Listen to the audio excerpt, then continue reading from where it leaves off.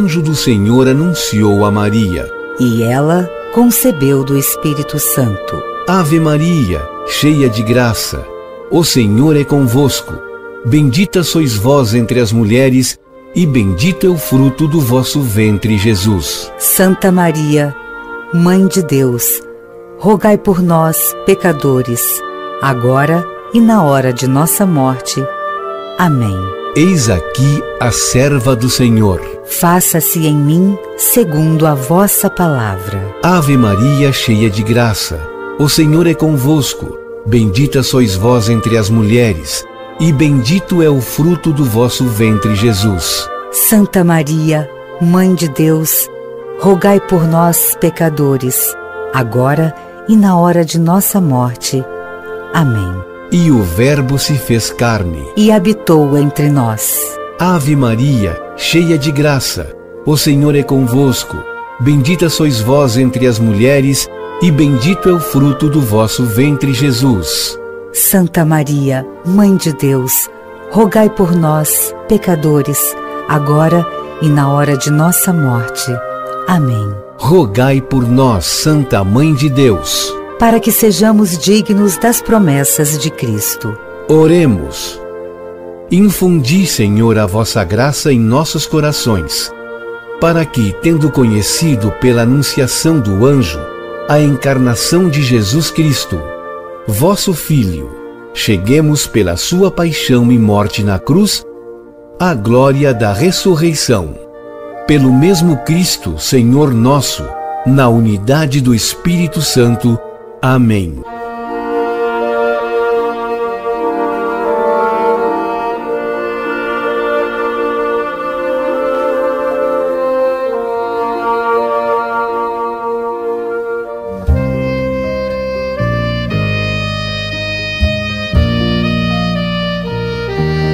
A RU apresenta a Palavra de Deus para hoje. Comentário do Evangelho do Dia com Dom Jacinto Bergman arcebispo metropolitano. Mateus, no trecho do evangelho de hoje, narra um episódio interessante. Jesus estava num lugar falando às multidões. A sua mãe Maria e seus familiares ficaram do lado de fora desse lugar, procurando falar com Jesus. Alguém tomou a iniciativa e disse a Jesus: Olha, tua mãe e teus familiares estão aí fora e querem falar contigo. Jesus então perguntou àquele que tinha tido a iniciativa de falar-lhe: Quem é minha mãe e quem são os meus familiares? E, estendendo a mão para os discípulos, Jesus disse: Eis minha mãe e meus irmãos Pois todo aquele que faz a vontade de meu Pai que está nos céus, esse é meu irmão, minha irmã e minha mãe. Como vimos nesse episódio, Jesus, além de sua família de sangue, veio para construir uma família de espírito. Também constituem a sua família todos aqueles e aquelas que fazem a vontade de Deus, que está nos céus.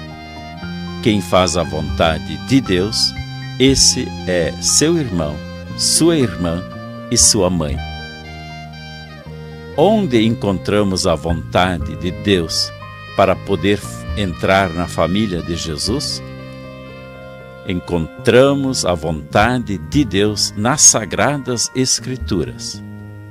É a palavra de Deus que apresenta sua vontade. Praticar a palavra de Deus em minha vida, isso me faz ser da família de Jesus.